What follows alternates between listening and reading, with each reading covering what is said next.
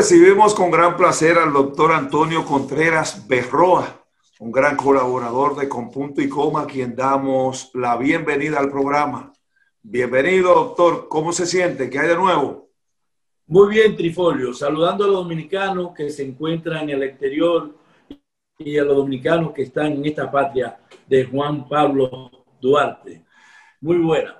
Doctor, hoy quiero que hablemos un poco sobre una enfermedad conocida como artritis reumatoide. ¿En qué consiste realmente? Mira, la artritis reumatoide, como la gente la llama artritis, enfermedad de los huesos, es una enfermedad que se caracteriza principalmente por la inflamación de las articulaciones. Es decir, huesos, músculos y tendones. Esta enfermedad, aunque las personas la conocen como enfermedad de los huesos, también puede afectar cualquier órgano, fundamentalmente los pulmones y el riñón. Y en algunos pacientes eh, se ha dado el caso que produce una, una enfermedad cardíaca eh, reumatoidea en algunos pacientes, principalmente en algunos niños. Este tipo de artritis, doctor Contreras, ¿dónde es más frecuente y a qué edad? ¿En el hombre o en la mujer? Es una enfermedad que se produce con mucho mayor frecuencia en la mujer.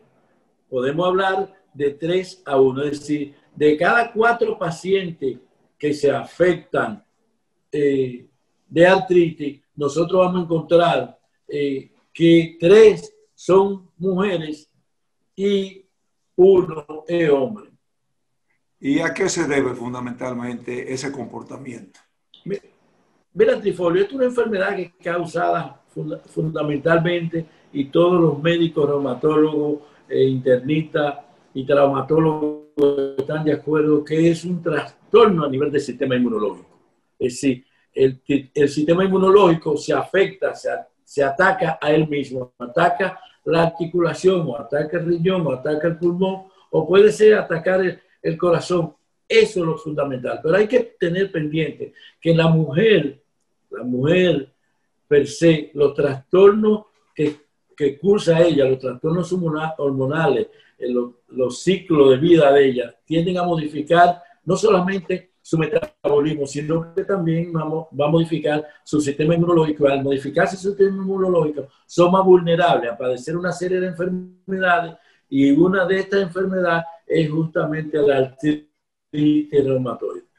Doctor, con mucha frecuencia, muchos dominicanos son muy dados a alarse los dedos, estrellarse, como dicen popularmente, los dedos, ¿verdad? Eh, ¿Esto en cierto modo podría motivar la aparición de esta patología? Mira, eh, lo que las personas llaman trallarse los dedos no tiene que ver, no está vinculado con la artritis.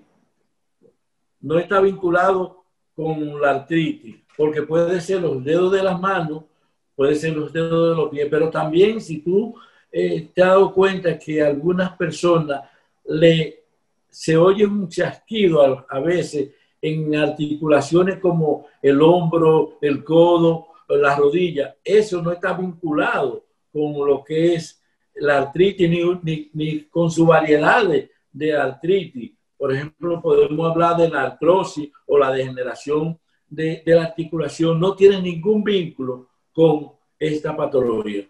Entonces, eh, su manifestación se da tanto en las extremidades superiores como inferiores.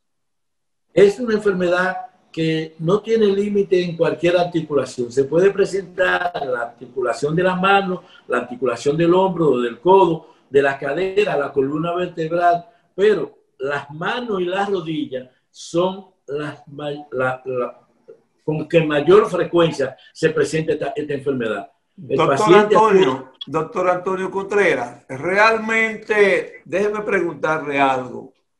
Eh, puede ser en las manos y puede ser en los pies, ¿verdad? Ahora bien, eso no se puede prever.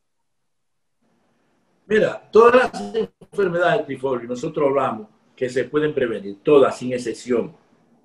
Somos de, de ese tipo de escuela. Y las artritis reumatoides se puede prevenir cuando nosotros mejoramos el sistema inmunológico, porque la mayoría de estas patologías, el 85%, está vinculado con el sistema inmunológico. Si nosotros fortalecemos por las diferentes vías el sistema inmunológico, nosotros podemos distanciar la, la presencia de la enfermedad en el individuo. ¿Cómo nosotros mejoramos el sistema inmunológico? Una buena alimentación, buenos ejercicios, pensamiento positivo y en los últimos tiempos, eh, con muchísimas técnicas, por ejemplo, el uso del ozono, el uso del glutatión, el consumo eh, de megadosis de vitamina C, todo esto va a contribuir a mejorar el sistema inmunológico y por ende eh, nosotros a resistir cualquier agresión, tanto externa como interna.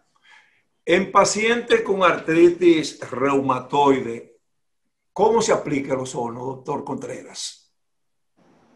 Nosotros aplicamos el ozono eh, directamente en las articulaciones donde están afectadas. Por ejemplo, si el paciente tiene una artritis reumatoide que le afecta las manos o le afecta la cadera o le afecta a la rodilla, nosotros aplicamos ozono intraarticular. Y en las manos, fundamentalmente en forma de mesoterapia. Son las, las aplicaciones más comunes.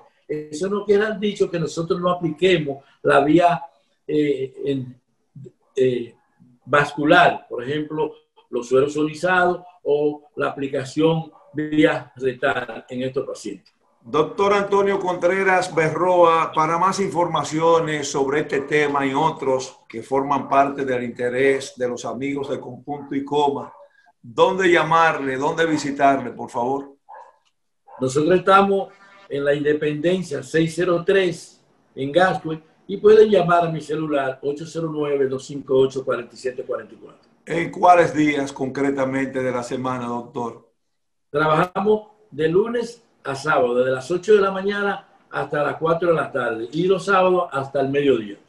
Bueno, queremos agradecer, como siempre, al doctor Antonio Contreras Berroa por sus informaciones siempre de interés, por su conversatorio valioso aquí en Con Punto y Coma.